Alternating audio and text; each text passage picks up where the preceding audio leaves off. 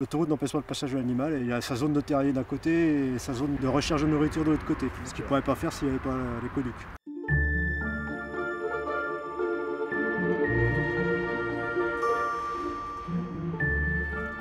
Je fais le mon relevé euh, tous les deux mois, je fais le, relevé par rapport à la convention de suivi qu'on doit réaliser ensemble. Et euh, donc je retire la carte pour pouvoir la lire ensuite et exploiter les données.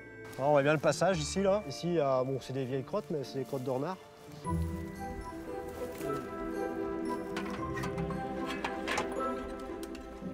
C'est un écoduc bien fréquenté par le renard, euh, le blaireau également. Ces ouvrages-là ont un coût. Encore faut-il qu'on soit capable de montrer que cet investissement est valable et est utile. Est utile, bien entendu, c'est bien l'objectif premier. Donc euh, ça passe par l'analyse de l'efficacité. Et toutes ces données-là sont très précieuses.